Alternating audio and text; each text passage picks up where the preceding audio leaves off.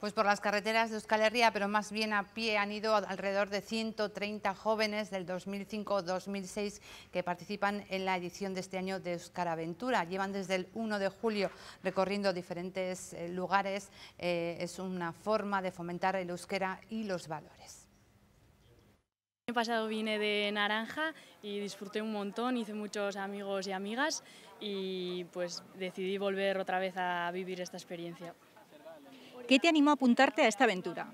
Eh, pues sobre todo la, iniciativa de, estar todo el mes hablando en, euskera y poder eh, conocer gente nueva a través de andar todo el mes por el País Vasco es lo que más me animó a hacer el, trabajo y sobre todo apuntarme a esta nueva experiencia. ¿Quiénes pueden participar y qué requisitos deben de cumplir? Bueno, eh, lo primero, lo fundamental es que deben saber hablar euskera y luego tienen que hacer eh, un trabajo, cada uno tiene que hacer un trabajo sobre eh, X temas que se les propone y pues eh, bueno, este, este año hemos sido han sido 130 los que han sido admitidos y los que han podido participar en esta aventura y ese es el único requisito. Lleváis ya desde el 1 de julio, queda poco para que termine. ¿Qué destacas de lo que has vivido? bueno, un poco las amistades que hemos hecho durante todos estos días y las pequeñas cositas que, que, van surgiendo durante el día, porque al final estamos 24 horas juntos y pues pasan muchas cosas y está muy bien. O sea, sí. Yo les recomendaría que se apunten si tienen la oportunidad y quieren vivir un mes en euskera, porque al final es una oportunidad que no se da todos los días y es una experiencia inolvidable en la que vas a hacer un montón de amistades que, no se, que van a ser para toda la vida.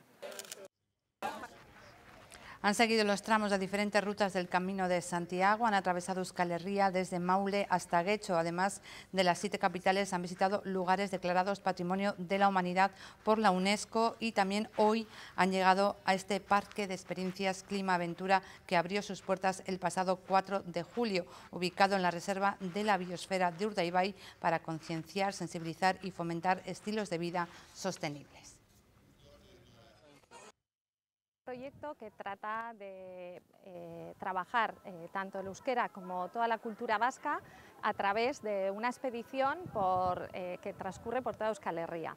estamos ya en el final de, las etapas, el, equipo está cansado, pero hemos querido que conozcan este espacio especial, BBK Clima Aventura, que está en el centro, en la Reserva de la Biosfera de Urdaibai y que pretende sensibilizar y educar a través del juego en torno al reto del cambio climático y aportarnos algunas ideas y algunas claves para transformar nuestros hábitos de forma que seamos más sostenibles.